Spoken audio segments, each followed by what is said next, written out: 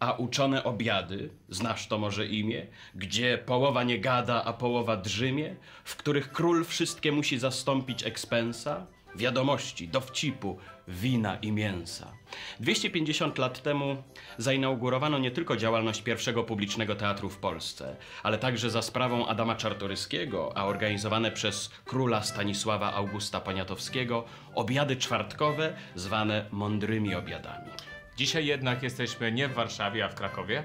I to właśnie w Krakowie, w restauracji Wierzynek, rozmawiamy o tym, co najważniejsze dla współczesnej polskiej sceny teatralnej. Uważamy bowiem, że teatr, który odważnie mówi o tym, co istotne dla naszej wspólnej zbiorowości, jest absolutnie istotnym uczestnikiem debaty publicznej. Dzisiejszym gościem obiadów czwartkowych w krakowskiej restauracji Wierzynek jest mecenas sztuki Krzysztof Tętnowski.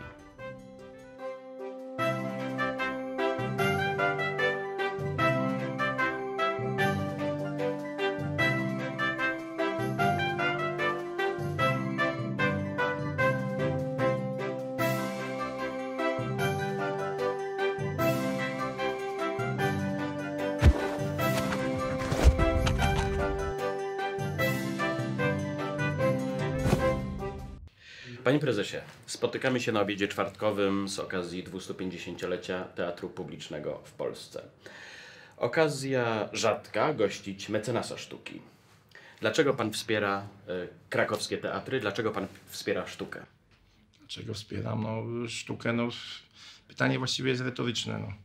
Czyli innymi słowy, y, dlatego, że daje mi to bardzo wiele w, w, moim życiu. To znaczy, oprócz tego, że człowiek prowadzi biznes, prawda, jakby żyje w takim realnym świecie, cały czas może no, troszeczkę lewitować dzięki temu, dzięki obcowaniu ze sztuką, dzięki temu, że mam przyjaciół artystów, że mogę z nimi spędzać czas. Zresztą zawsze o tym mówię, że to jest chyba taki najlepiej spędzony czas. To tak z próżności? No, rzekłbym być może tak, no. Człowiek jest takim egoistą, tak. W jakimś sensie tak. Jest tak, że ja na pewno biorę dużo z, tej, z tych znajomości, z, tych, z, tych, z, te, z tej współpracy, z tego wspierania.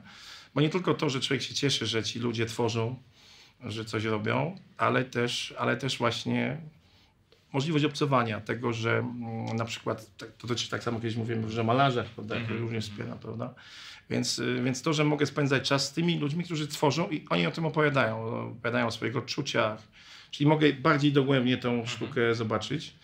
Czasami ona jest zazwyczaj zupełnie y, z innej, jakby, jeżeli chodzi o percepcję. Czyli mhm. moja percepcja jest inna, inaczej ją odbieram, bo każdy ją indywidualnie odbiera, a inaczej y, coś, co chciał ktoś y, pokazać, nawet aktor czasami, prawda? Czy, czy, czy malarz, czy, czy w ogóle jakiś artysta. No i tak jak mówię, no, no i możliwość tego, że, że tych ludzi, że jest człowiek obok nich, no, blisko. I, i, I, jest fajne, no po prostu fajne. Także to próżność ma pana. Ale to też jakby próżność z jednej strony na pewno, a z drugiej strony to też jest taka piękna idea dzielenia się, bo przecież tak naprawdę pan się dzieli tym, co pan zdobywa swoją pracą. No to są jakieś środki finansowe, wiadomo, które przeznaczamy, nie są jakieś e, strasznie duże. Polski biznes wydaje mi się i tak jest raczej, powiedziałbym, dopiero w przededniu tego, żeby wspierać i zobaczyć, że warto wspierać kulturę i sztukę. Wydaje mi się, że wciąż jesteśmy w dużej mierze, ten średni biznes, jest taki, no, jeszcze na etapie, powiem, samochodowo-wakacyjnym, czyli jakby to powiedzieć, y, takiej, takiego konsumpcjonizmu, prawda? I jakby dopiero dostrzega potrzebę, potrzebę zaistnienia, nie tylko już snobistycznego, ale nawet takiego wewnętrznego, że warto uczestniczyć w tym wszystkim, ponieważ to są rzeczy o wiele bardziej ponadczasowe. I to jest, to jest bardzo, bardzo, bardzo fajne, że to się zaczyna i dzieje się to. Mówię, na pewno nie na taką skalę, jakbyśmy, jakbyśmy sobie życzyli. A właśnie, jak Pan mówi o tym, kiedy y, rozmawia Pan ze swoimi kolegami, y, którzy też prowadzą swoje firmy, są biznesmenami i mówi Pan im o tym, że Pan wspiera finansowo y, swoim poparciem, działalnością instytucje kultury, to jak oni na to reagują? Czy to jest normalne? To, znaczy, to, znaczy, bardzo, bardzo, jest... to, nie, to znaczy normalność jest, zrozumienie pewnie też, to zależy od osobowości, bardzo wiele jednak. No tutaj nie chwaląc się, prawda, akurat większość moich y, znajomych, staram się takich też dobierać pewnie, no jakby rozumieją to i cieszą się z tego. Jest też wielu takich, którzy wciąż patrzą na interes troszeczkę w taki sposób przyziemny, można powiedzieć, a więc tu i teraz, liczby i tak dalej, przeliczniki, jakby nie potrafią do końca jeszcze y, tym się dzielić, jak pan powiedział. Nie? A ja myślę, że to wszystko przed nimi i taki dobry wzór, a właściwie w dobrym guście nawet będzie to robić, to już nawet nie mówię o tym, że ktoś to będzie czuł. Ja akurat należę do tych, którzy, mówię, próżność, to co pan powiedział, chcą w zamian jeszcze brać od artystów. W związku z tym jest to, jest to akurat w moim przypadku sama przyjemność. A co w polskim prawie y, zmieniłby Pan, jeżeli chodzi o, y, o finansowanie, o dawanie pieniędzy na, na, na kulturę, jeżeli chodzi o odpisy podatkowe? Czy jest coś do zmiany? Coś, co może, na- na- coś, na co może pewno, ułatwić? Na pewno, na, pewno, na pewno wydaje mi się, że w ogóle instytucje kultury przecież mogą korzystać z tego 1%, tak? W jakiejś części, jakiejś części prawda? Więc tu jest jakaś tam droga. Te, czyli innymi słowy, część z tych podatków kierujmy na pewne szczytne cele, które uważamy, że się sprawdzają. To jest jedna rzecz. Druga rzecz, e, na pewno odpisy wszelkiego spowodują, że będzie łatwiej o te pieniądze, to niewątpliwie. Ale jest kwestia, jak budżet państwa na to będzie patrzył, jak rządzący będą na to patrzeć. Ale na pewno kultura i artyści potrzebują pieniędzy. Jest ewidentnie e, ta wolna sz- sztuka w szerokim wymiarze, od teatru poprzez malarstwo, rzeźbę, poprzez wielu ludzi, którzy jakby są takimi, rzek, rzeknę y, y, w cudzysłowie, prawdziwkami, to oni tak naprawdę żyją jak samotnicy, a i finansowo są pozbawieni jakiegokolwiek wsparcia.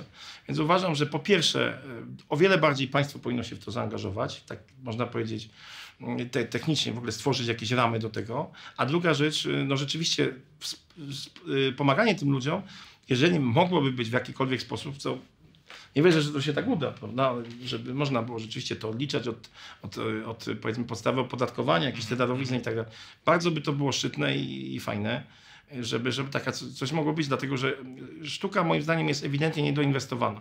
Większość moich znajomych naprawdę żyje mm, tych właśnie artystów no, na takiej granicy, można powiedzieć, egzystencji. No to często mają rodziny ludzie i oni pomimo tego, że, że mają rodziny, że, że jakby no, muszą żyć, no, co- codzienność ich przytłacza, jak, jak wszystkich nas w jakimś sensie, to potrafią zachowywać tą swoją drogę, którą sobie tam wytyczyli 10-20 lat wcześniej, a nie wszyscy artyści są doceniani też, prawda? Bo są tacy, którzy są doceniani. Ci dostają pieniądze, sprzedają obrazy, występują, yy, mają duże garaże i tak dalej, i tak dalej. To jest jakiś procent. A obok tego jest to wszystko, co tak naprawdę jest takim oceanem sztuki. Dzięki temu w ogóle tam ci mogą istnieć, prawda? To, to ten ocean, tam się to życie toczy i warto, warto by było, żeby tych ludzi właśnie takich z boku troszeczkę wspierać. Panie prezesie, pan powiedział o, o wolnej sztuce i e, ja chciałem się przy tym zatrzymać na chwilę, bo e, bardzo często w ostatnimi czasach, kiedy się mówi o teatrze, o finansowaniu teatru, to często mówi się na przykład o tym, że e, mówimy o pieniądzach publicznych w tym przypadku, że często jest tak, że mówimy, e, pewnie pan słyszał o ostatniej aferze we Wrocławiu, w Teatrze Polskim, spektakl Śmierci Dziewczyna w reżyserii e, Eweliny Marciniak e, i pojawiły się tam takie opinie, że dobrze, niech artyści robią swoją sztukę, ale za własne pieniądze.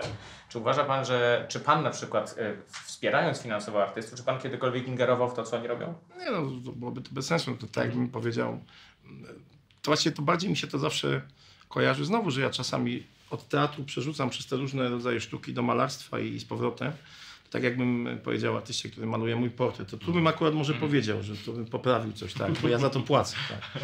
Natomiast y, nie no, w życiu nie, nie, nie, nie, nie ingerowałbym w takie coś, bo to, to właśnie po pierwsze się na tym nie znam, tak? Po pierwsze się na tym nie znam. To jakimi e, ka- kategoriami dobiera Pan e, prezes tych, których, Nie, których myślę, że to jest w dużej mierze. To nie jest tak, że ja mm, jakoś jakiś kierunek mam, że to mi się podoba, to ja to wspieram. A mi się nie podoba, to tego nie wspieram. Nie. Akurat y, czy wspierając tutaj stypendystów Teatru Nowego, kompletnie teatr nowy dla mnie, nowy, że nowy, że tak powiem, bo ja go wcześniej tak naprawdę nie znałem. Zobaczyłem jeden, drugi spektakl i jest to uważam y, bardzo ciekawa koncepcja i to podobało mi się, tak powiem szczerze. Tak samo malarzy, których wspieram, to też nie mam, no, to, to, to zupełnie inni, każdy zupełnie, to jest totalnie z- od sasa do lasa, można powiedzieć, jeżeli chodzi o rodzaje i tak dalej. Nigdy, nigdy nie, nie, nie, nie, nie, patrzyłem na to, nie oceniałem. Nawet specjalnie nie oceniam tego, ponieważ to by mogło urazić, ponieważ artyści mają czasami wysokiego i gdybym powiedział na przykład, że to jest lepsze, a to jest gorsze, no to już byłoby nie, niedobre. Więc y, absolutnie daleki jestem od tego i uważam, że państwo powinno dawać y, pewną kadencyjność, to jest właśnie dobre między innymi na przykład dyrektorom teatru czy coś. I trudno, czasami będzie się to wiązało pewnie z kontrowersjami, jednym się będzie podobać, drugim nie. Ten artysta, ten y, powiedzmy dyrektor, który ma jakąś wizję teatru na przykład, uważam, że ma ten swój czas prawda? i on ten czas zaznacza. To tak samo dotyczy tutaj krakowskiego Teatru Starego oczywiście i takich, takich sytuacji. że, że powinien mieć czas i, i nie powinien nikt tego czasu na siłę skracać i tak dalej. Trudno, on się sprawdzi lepiej lub gorzej. To oceni też w dużej mierze historia, docenią widzowie. To jest bardzo mm, subiektywne odczucie. Jeden oceni daną sztukę dobrze, drugi oceni źle. Więc mówienie, że coś jest dobre, złe jest bardzo trudne w sztuce. Ja nawet jestem czasami przeciwnikiem, często słyszę, prawda, że ten obraz jest tyle kosztuje, a ten to tam jest. tyle. To o tym decyduje rynek, marszanci, ale jeżeli rynek, to nie sztuka, prawda? Więc sztuka ma być wolna, tak jak pan powiedział. Sztuka ma być wolna, tak jak wolne mają być chwile i piękne wspólnego e, posiłku. Tak Panie prezesie, Myślę, zapraszamy na, coś- coś- na, coś wspólny, zjemy, tak? na wspólny obiad. Oczywiście jeszcze sobie porozmawiamy. No. Dziękuję, poproszę o obiad. Dziękujemy bardzo. Ktoś tam drinkuje, ale nie aż tak strasznie. piękny Piotrek, siebie, Luty, Piotrek Lutyński chyba, tak, Aha. tak, tak, Piotr zaczął, tak. I potem poszło już, to już było ten, no to nie jakieś wspieranie, bo to jest tak na przykład, że, tak mówię, no mają plac, nie? Mają ciepło tam w miarę, mniej ciepło ten.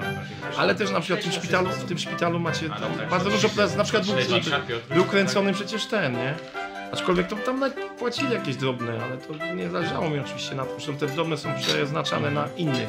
Jak jedni artyści czasami niosą ze sobą pieniądze, bo akurat mają, bo mają jakiś grant, wtedy mówią, że mają pieniądze. Wtedy się im mówi, że dobra, to musicie zapłacić za, e, że tak powiem, studio, czy na przykład jakieś tam korytarze szpitalne, nie? 1000 zł, a to 1000 zł przeznaczamy na remont e, silnika. No tak, Piotr.